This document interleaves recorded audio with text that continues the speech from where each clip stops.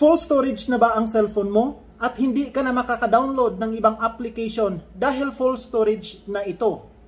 Paano ba mawala ang full storage para maka-download ka ulit ng mga ibang application?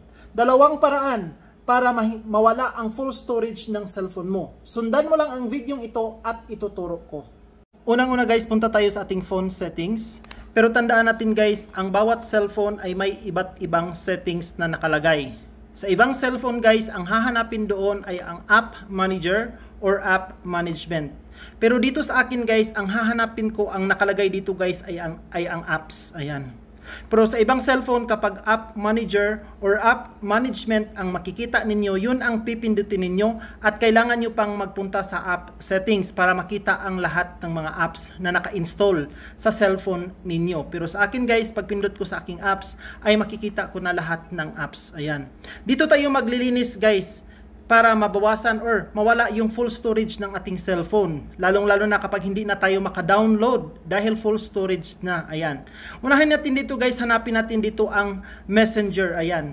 Dito sa Messenger guys, makikita mo dito. Ayan. Punta tayo sa storage ng ating Messenger. Ayan. Storage. Ayan. Ang storage po dito guys ay ang data 1.80 GB, cache 242 MB, total of 2.2 GB up 177 MB. Ayan. Ang lilinisin natin dito guys ay ang cache. Ayan.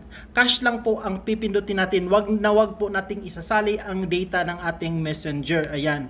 Pipindutin nyo po yung clear cache. Wag po yung clear data. Kasi kapag kiniklear data nyo po yan, ang lahat po ng data ng inyong messenger ay mawawala. Magbaback to normal po siya at ilalagin nyo ulit kapag i-clear data ninyo ang messenger. Ang gagawin nyo lang po ay ang clear cache. Ayan. Clear cache. Ayan. At ang cache po ay nag 0 MB. At ayan, ibaback natin. Maghanap tayo ng ibang apps. Maghanap tayo ng ibang apps guys. Ayan. Dito naman guys sa message. Ayan. Ayan, message. Ayan, message. Dito sa message guys at punta tayo dito doon sa storage. Ayan, dito sa storage ayan po. Data, app at cache. Ang pipindutin niyo lang po ang clear cache. Huwag niyo pong pipindutin ang clear data. Ayan, ito po guys. Ganyan po ang tamang paglilinis at wag na wag niyo pong isasali ang clear data para hindi po mawawala ang mga importanteng data lalong-lalo na kapag may nilalagay kayo sa inyong apps na importante para hindi mawala. Ganun po.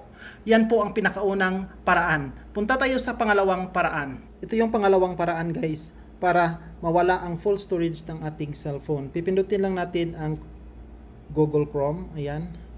Dito sa right side sa taas may tatlong tuldok. Pipindutin lang natin. Pagkatapos pipindutin natin ang settings. I-scroll mo lang siya pababa. Hanapin mo dito ang site settings at pipindutin mo dito guys ang data stored. Hanapin mo dito sa baba ang data stored. Ayan.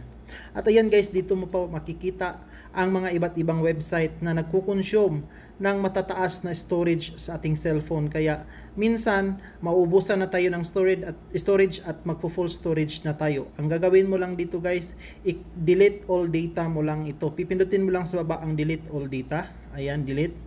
At ayun na po guys, nalilinis na po guys at siguradong hindi na po or mawawala na po ang full storage ng iyong cellphone. Ganun lang po kadali.